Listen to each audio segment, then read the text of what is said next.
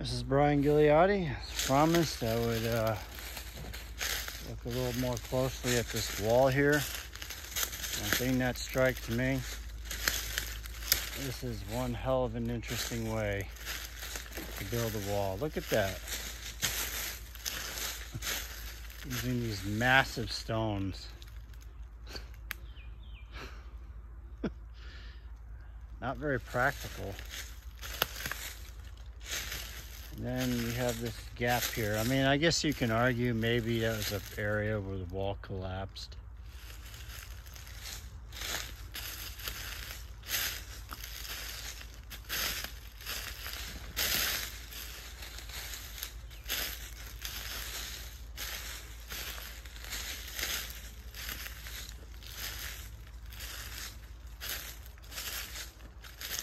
But still, I mean, it's just lot of effort. And there we go. There's that massive glacial erratic. I believe that was there. That was a geological feature. But I've noticed things about it, which I will talk about later on.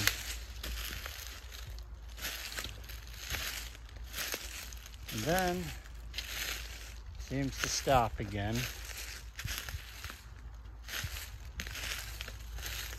It's like uh, forms like an entrance to this hill area before the wall starts again.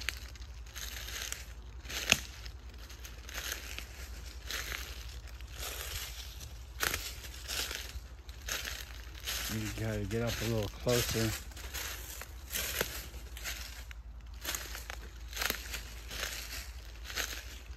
So, I